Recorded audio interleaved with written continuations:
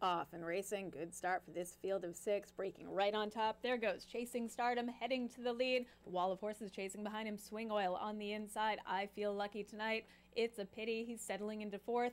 In the red blinkers, Bobby's Candy's fifth, and it's a long way back to Rumaway.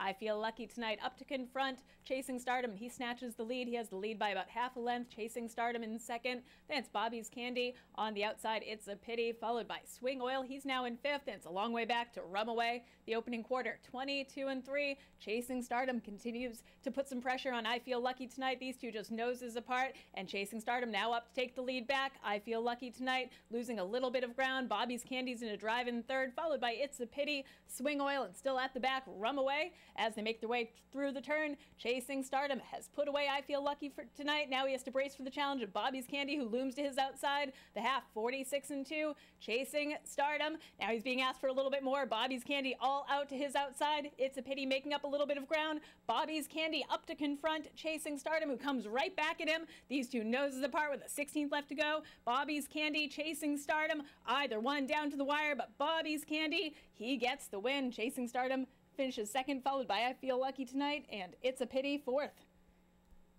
Final time 113 flat. Hold all tickets until race two is official.